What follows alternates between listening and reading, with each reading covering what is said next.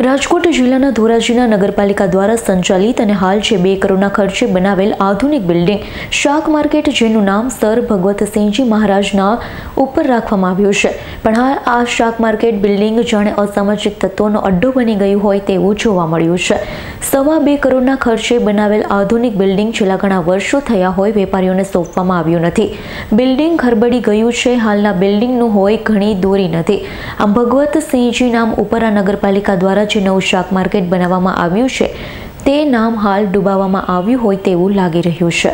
રાજકોટ જિલ્લાના ધોરાજીના નગરપાલિકા દ્વારા બનાવવામાં આવેલ નવી માર્કેટ કે જે આઠ વર્ષ થયા બનાવવામાં આવી છે.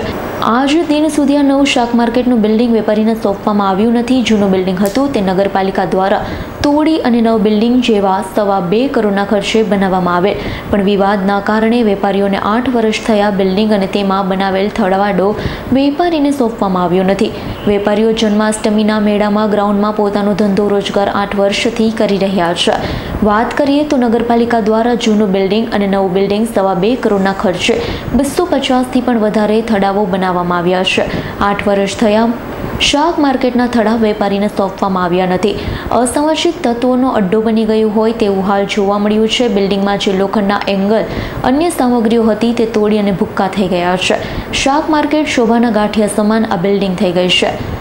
કોંગ્રેસના શહેર પ્રમુખ દિનેશભાઈ વોરાએ જણાવ્યું છે, જ્યારે સર ભગવતસિંહનો બિલ્ડિંગ જૂનું હતું, તે તોડી નવો મિનિંગ ભાજપના કાર્યકાળમાં થયું છે.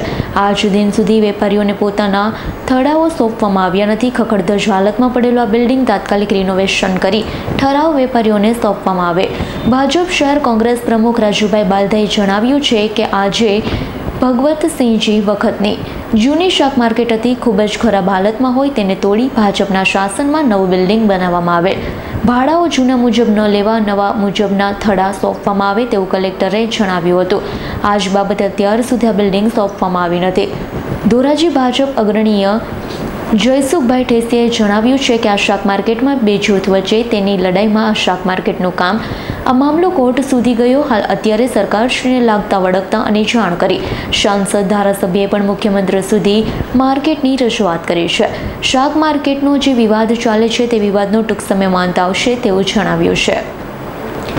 શાકભાજીના વેપારીઓએ તેવું જણાવી રહ્યા છે કે જૂના અમારા થડા હતા તે મુજબ અમને પાછા થડા સોંપવામાં આવે તો જ અમે નવા બિલ્ડિંગનું શાક માર્કેટમાં જતીશું અને હાલ સવા બે કરોડના ખર્ચે બનાવેલ આધુનિક બિલ્ડિંગ અત્યારે યોગ્ય જાળવણી અને યોગ્ય સંકલન અભાવના કારણે આ સર ભગવતસિંહજીનું નામ નવું શાક માર્કેટ પણ તાત્કાલિક ધમધમતું થાય તેની રાહ જોઈ બેઠું છે. દેવીદાસભાઈ સુખવાણી. આ કેટલા વર્ષે દુકાન તમને સોંપડે શું કારણ છે? માર્કેટ ને નવ વર્ષ થઈ ગયા. આ નવમું વર્ષ ચાલુ છે. નવી બિલ્ડિંગ બની ગઈ છે. પણ જે પ્રમાણે અમારી દુકાનો હતી, એવી દુકાનો બનાવી નથી. નાના ગોખલા બનાવ્યા છે. ત્યાં વેપાર હાલે જ નથી. અને મારી ચાર દુકાન હતી, તો એક દુકાન દેવી છે. હવે એક દુકાન મને પૂરી થાય, મારા ચાર, ત્રણ દીકરા હોય, તો જેટલી દુકાનો એટલી તો હોપવી પડે ને. એક જ દુકાન દેવી છે, એમ થોડી ચાલે કંઈ. જેટલી મારો હક હોય એટલી મને દેવી પડે. જે જગ્યાએ એમ હતા, જે જે જેવડી અમારી માપણી હતી, જે પ્રમાણે અમારી દુકાનની સાઈઝ હતી, એવી દુકાનો આપવી પડે. આવી રીતે બિલ્ડિંગ આવી રીતે બનાવી નાખ્યું એમ થોડી ચાલે કે. એમ કેમ- કેમ વેપાર કરવો એના?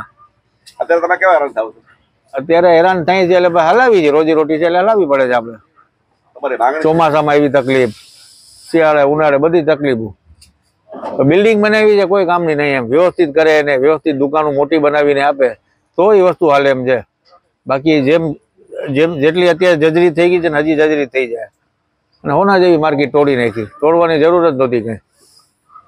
એ વસ્તુની કઈ જરૂર જ નહોતી ને તોય તોડી નાખી. ઓકે? મારું નામ દિનેશભાઈ ઓરા શહેર કોંગ્રેસ પ્રમુખ ધોરાજી. ધોરાજી શહેરમાં રાજાશાહીના વખતની સર ભગવતસિંહજી દ્વારા બાંધવામાં આવેલી શાક માર્કેટ આવેલ હતી. આ શાક માર્કેટને તત્કાલીન ભારતીય જનતા પાર્ટીની બોડી નગરપાલિકામાં હતી ત્યારે તોડી પાડી અને નવી માર્કેટ બનાવવામાં આવી હતી. પરંતુ ભાડાના પ્રશ્નને લઈને આ નવી શાક માર્કેટ બન્યાને આજે આશરે આઠ વર્ષ થવા આવ્યા.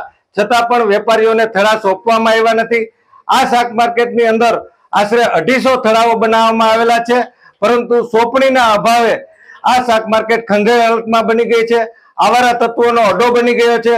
દારૂ, જુગાર જેવી ગેરકાયદેસર પ્રવૃત્તિઓ આ શાક માર્કેટની અંદર હાલે છે. અને હાલમાં જોઈએ તો આ શાક માર્કેટ ખંડેર હાલતમાં બની ગયેલ છે. અને અઢી અઢી કરોડથી અઢી થી ત્રણ કરોડ જે ખર્ચ કરવામાં આવ્યો છે, એ ખર્ચ પણ પ્રજાના પૈસા પાણીમાં ગયા છે. અને હાલમાં શાક માર્કેટ જોઈએ તો રિનોવેશન પાછળ પચાસ લાખથી એક કરોડ જેવો ખર્ચ થાય એ પણ પ્રજાને માથે પૈડા ઉપર પાટા સમાન છે. જે સર ભગવતસિંહજી વખતની શાક માર્કેટ હતી એ તોડી પાડી અને નવી બનાવી છે. એ આમ જોઈએ તો જે રજવાડા વખતમાં શાક માર્કેટ બનાવી હતી એની ઉપર પાણી ઢોળ કરવામાં આવ્યું છે. અને અમારી માગણી છે કે તાત્કાલિક તત્કાલીન ધારાસભ્ય હોય કે સંસદ સભ્ય શ્રીએ રસ દાખવી અને સરકારમાં રજૂઆત કરી અને આ વેપારીઓને થડાની સોંપણી કરવી જોઈએ. તમારું નામ? જયસુખભાઈ ઠેસિયા ધોરાજી શહેર ભાજપ અગ્રણી હાલમાં ઉપનેટા શહેર ભાજપ પ્રભારી. શાક માર્કેટના પ્રશ્ને મેં જોયું અને અમને પૂછવામાં આવતા જે તે વખતે ભારતીય જનતા પાર્ટીની શાસન હતું નગરપાલિકામાં. ત્યારે શાક માર્કેટ અને મટન માર્કેટ. શહેરી વિકાસ યોજનામાં પૈસા આવતા યોજના મંજૂર થઈ. શાક માર્કેટ બે કરોડ પચીસ લાખના ખર્ચે રિનો પાડીને રિનોવેશન કરવાનું નક્કી થયું. ઠરાવ થઈ, બધું કમ્પ્લીટ થયું. બાંધકામ ચાલુ કરવામાં આવ્યું. ત્યારે શાક માર્કેટના વેપારીઓના બે કે ત્રણ અલગ અલગ જૂથોના હિસાબે આ પ્રશ્ન હાઈકોર્ટ સુધી ગયો. હાઈકોર્ટમાં મુદત ઉપરી એકાબીજા પર ખોટા આક્ષેપો થયા. ત્યાર પછી નગરપાલિકામાં કોંગ્રેસનું શાસન આવ્યું. એ પાંચ વર્ષમાં પણ મટન માર્કેટ કે શાક માર્કેટનું નિરાકરણ નથી આવ્યું. ભાઈ, કોંગ્રેસવાળા કહે છે કે સંસદ સભ્યને, ભાજ- ધારાસભ્યને રજૂઆતો કરવામાં આવે છે, વચનો આપવામાં આવે છે. ધોરાજી શહેરના લોકોની જાણકારી માટે કે સંસદ સભ્યશ્રી અને ધારાસભ્યશ્રીની અને શાક માર્કેટના વેપારીઓની સાથે રજૂઆત સીએમને મનની મુખ્યમંત્રીશ્રીને થઈ છે. ત્યાંથી હાલે એવું જાણવા મળ્યું છે કે આ શાક માર્કેટ જ્યારે બની, ત્યારે બસો અગિયાર જૂના થરા હતા. એની જગ્યાએ બસો પંચાવન નવા થરા બન્યા. પણ સોંપણીમાં વિવાદ થતા હાઈકોર્ટે પ્રશ્ન ગયો અને એ આજ સુધી ટલે ચર્યો છે.